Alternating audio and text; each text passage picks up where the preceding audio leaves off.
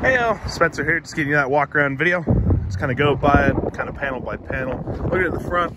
I thought that was body damage, that's just dust uh, from the salt. Somebody did test drive it, so it is a little, little dirty, but tread, looking good. Brakes, I mean, less than 10,000 miles, those are good. Kind of going along the side here, I'm not really seeing anything that kind of sticks out. The nice thing about black is you can see everything. Everything's looking good in the back. It does have the all-weather mats in it, as well as the stock ones. Sorry about the wind, if it's a little windy. A little windy today up here. Yeah, no, I don't really see any dings, dents, or anything like that. Just a little dirty from all the weather we've had yeah, I mean, we got tons of Subarus, but this is the inside.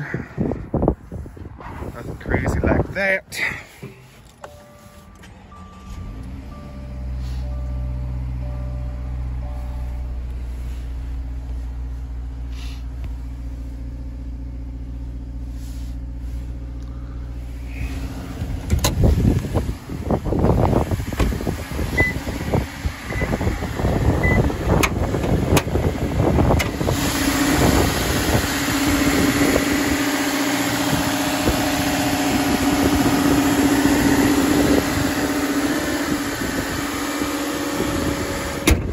Anyways, let me know if there's other info or things I can get you, but there it is.